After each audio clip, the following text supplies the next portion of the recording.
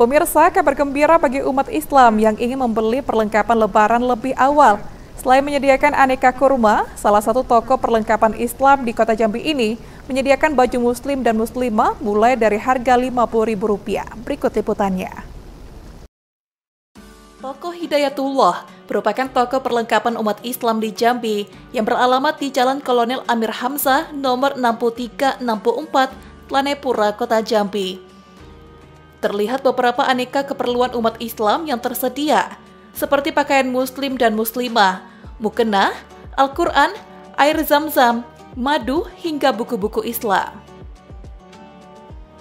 Menurut Wirayadi selaku kepala toko, hingga hari ke-12 Ramadan, antusias masyarakat yang berkunjung masih cukup sepi, yang diduga dikarenakan kondisi bahan pokok naik, sehingga menurutnya masyarakat fokus membeli bahan pokok ketimbang berburu perlengkapan lebaran.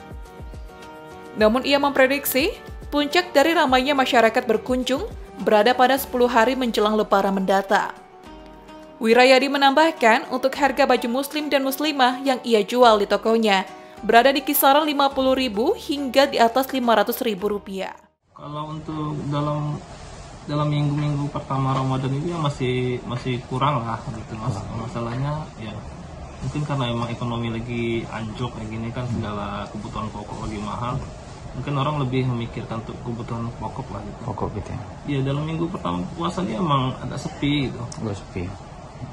Ya mungkin karena sebagian mungkin THR-nya belum ada yang cair kali. Iya, Biasanya sih meledaknya itu di saat ya THR sama gaji ke-13 itu keluar ya biasanya itu paling ramai. Iya.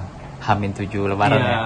Hamin 7 Hamin 10 udah lah biasanya. Iya. tuh. Kalau produk yang kita jual sih macam-macam ya pakaian muslim mulai dari anak-anak yang cewek cowok terus pakaian muslim dewasa ya untuk ibu-ibu untuk bapak-bapak juga ada sini. Hmm. Yang termasuk juga perlengkapan haji umroh terus oleh-olehnya juga ada. Ada juga. Iya. Halim Adrian, Cek TV, melaporkan.